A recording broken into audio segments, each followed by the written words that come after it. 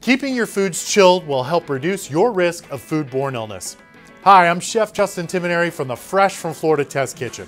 As soon as you get home from the store, place your meat, poultry, seafood, eggs, and other perishables directly into a refrigerator kept cool at 40 degrees Fahrenheit or below. Marinating foods should also be kept in the refrigerator. Frozen foods should be kept in a freezer set at 0 degrees Fahrenheit or below. When you are ready to thaw your frozen food, there are three safe ways to do it. The first is at a safe temperature in the refrigerator. Never defrost food at room temperature. The other methods are in cold running water or in the microwave. Food thawed in cold running water or in the microwave should be cooked immediately. To learn more about the Core 4 and to find additional food safety tips, visit the Division of Food Safety Consumer Resources and Outreach website.